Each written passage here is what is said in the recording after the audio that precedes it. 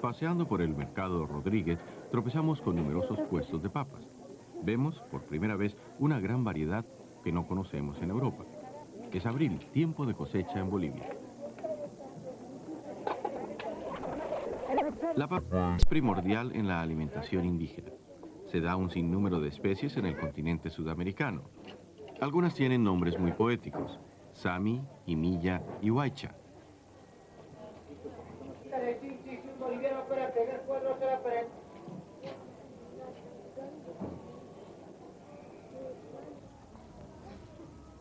Chuño y tunta son las papas deshidratadas, indispensables para subsistir en los Andes. Este método de conservación es milenario.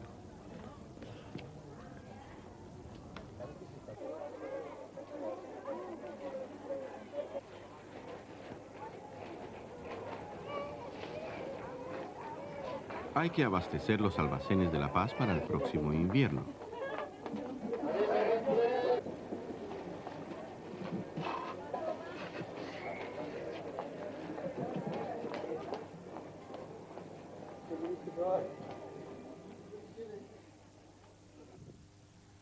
Vamos por el altiplano rumbo al lago Titicaca.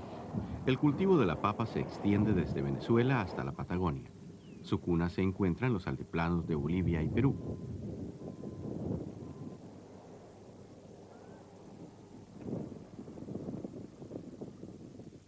Es impresionante ver cultivos de papas a 4.500 metros de altura. La papa crece incluso bajo las inclemencias de las altiplanicies andinas.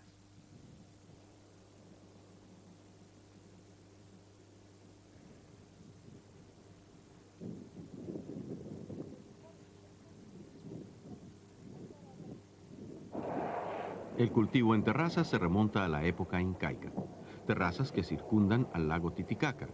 Pocas se trabajan actualmente. Los conquistadores despojaron a los indios de su tierra.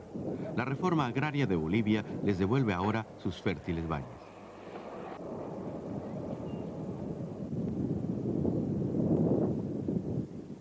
La cordillera, cumbres majestuosas coronadas de nieves perpetuas.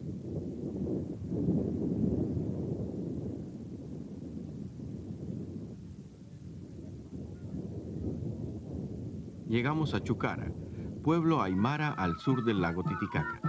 Se celebra el inicio de la cosecha. Es la fiesta de Pachamama, la ceremonia principal de la cultura andina.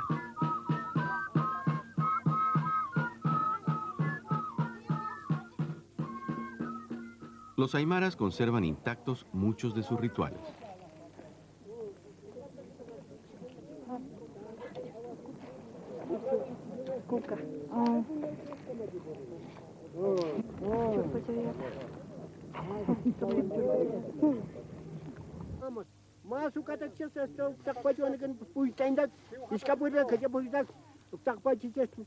El curandero invoca a Pachamama, la madre tierra, la deidad más importante de la mitología andina.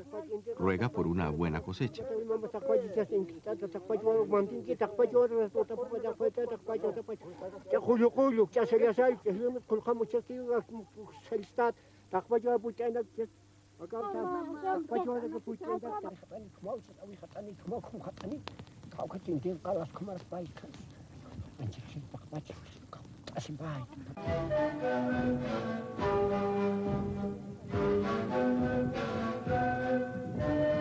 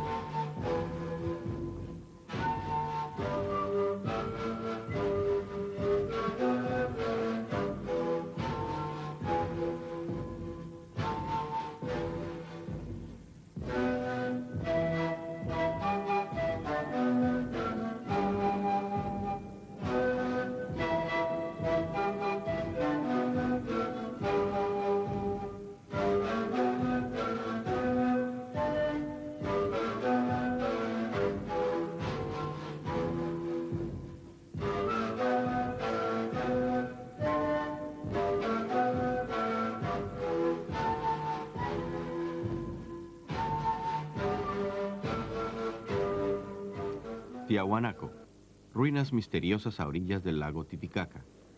Hace 2000 años había aquí una ciudad que llegó a contar 50.000 habitantes. Casi no se sabe nada de ella. Culturas posteriores la devastaron. La conquista española acabó de destruirla. Utilizó sus piedras como material de construcción.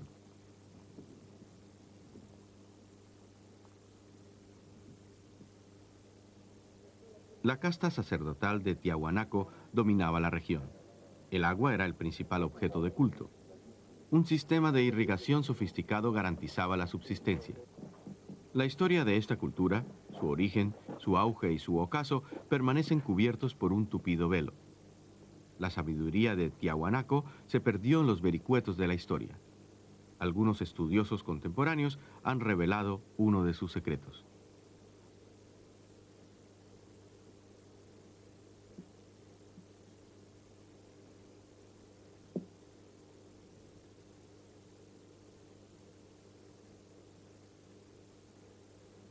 La famosa Puerta del Sol de Tiahuanaco.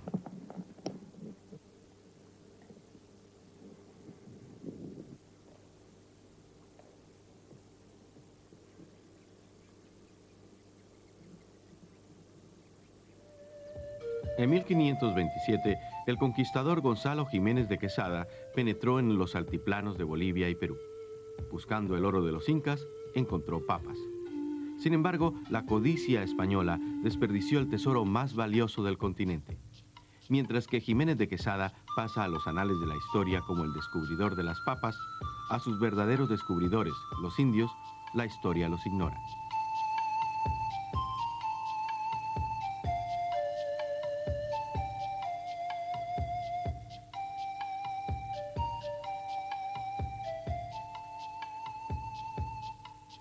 Lámina que idealiza al pirata Francis Drake cuando le entregan una planta de papa. Pero la historia verdadera del Nuevo Mundo es la de un saqueo voraz, la de una conquista marcada de sangre. La papa llega a Europa a través de España e Inglaterra. No se sabe con certeza quién es el primero en llevarla al viejo continente. John Hawkins, corsario inglés, narra en 1565. Las papas son las mejores frutas de la tierra que se puedan comer.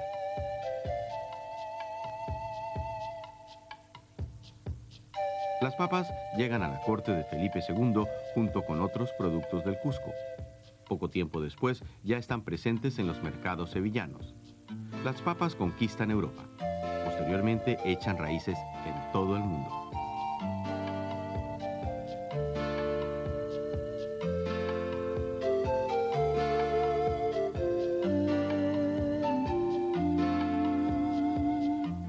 El año de 1689 le depara a Carolus Clusius, botánico alemán, una grata sorpresa. Dos papas.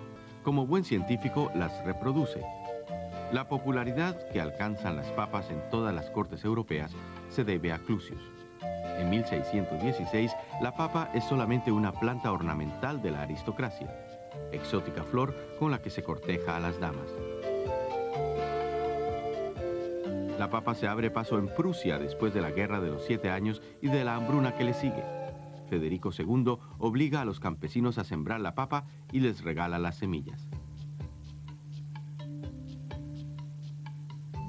Pero los pequeños poblados alemanes se resisten a aceptarla.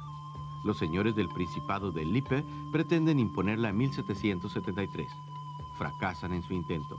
La papa empieza a sembrarse en Lippe casi 30 años después.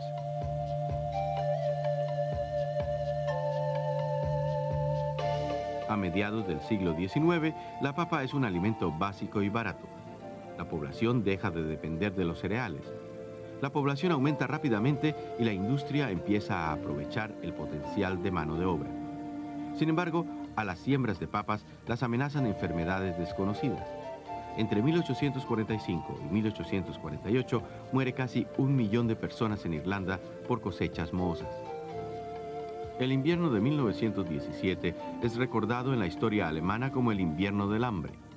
Gran parte de la cosecha de papas se pierde por la inclemencia del tiempo. La población casi perece de hambre. La papa es la protagonista de Berlín durante el bloqueo después de la Segunda Guerra Mundial. Un puente aéreo abastece de papas a los berlineses.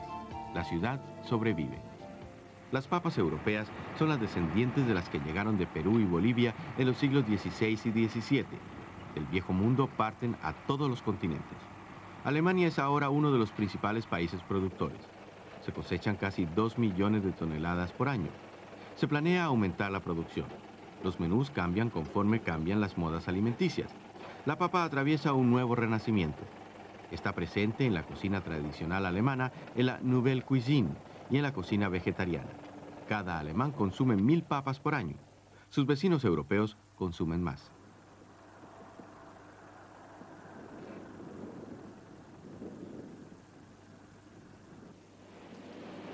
El 40% de la población anual alemana se procesa en hojuelas, harinas y papas fritas. La papa, alimento universal, tiene infinidad de variaciones. Su mercado es enorme. En Alemania se procesa de múltiples formas. Satisface casi todos los gustos. La competencia de mercados descubre cada día nuevos campos de aplicación.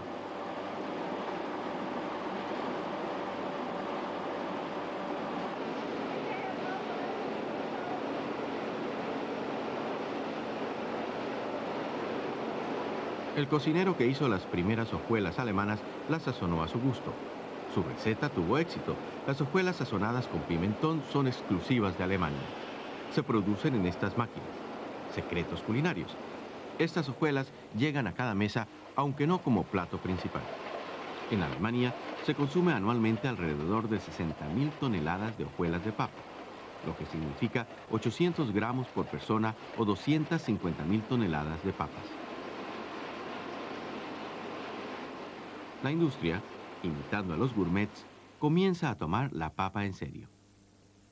En el Instituto de Investigación de Cereales y Papas en Detmold se han abierto nuevas perspectivas. Die Kartoffel ist ein sehr wichtiger äh, Lieferant des Inhaltsstoffes Stärke. La papa contiene mucho almidón. Nuestro instituto investiga desde hace mucho el almidón porque es una materia prima de gran utilidad.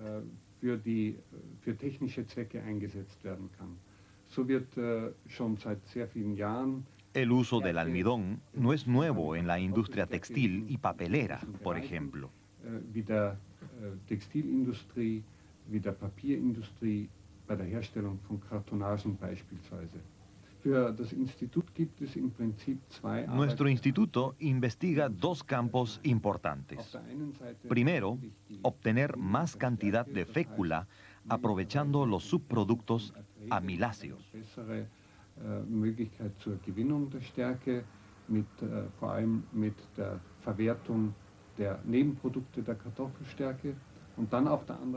Segundo, encontrar nuevas alternativas para su empleo. El almidón es la materia prima en la producción de láminas muy finas y nuevos tipos de empaques.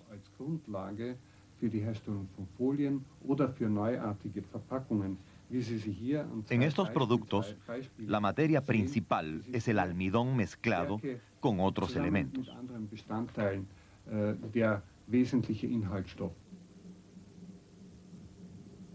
Lo que años atrás fuera tabla de salvación, ahora se ha convertido en un placer. Las papas tiernas son un verdadero deleite para el paladar. La papa ya no es únicamente lo que espesa salsas y nos hace engordar. La cocina vegetariana la considera el alimento ideal por sus cualidades nutritivas. En Lippe, entre el río Weser y el bosque Teutoburg, la papa tuvo un duro comienzo. Ahora es reina y soberana de los campos.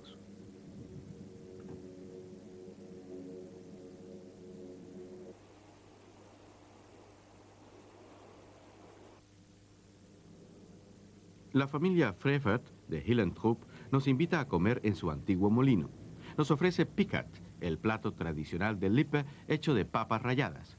Platillo de inolvidable sabor, cocinado en el fuego de la chimenea. Como es rico en calorías, está un poco fuera de moda.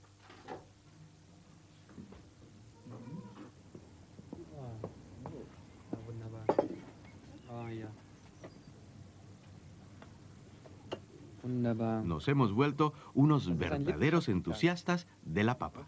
Rübenkraut, Butter und mit guter Leberwurst. Hausgemachter. Der Kameramann kommt bei solchen Aktionen immer zu kurz. Immer gleich esse ich alles auf.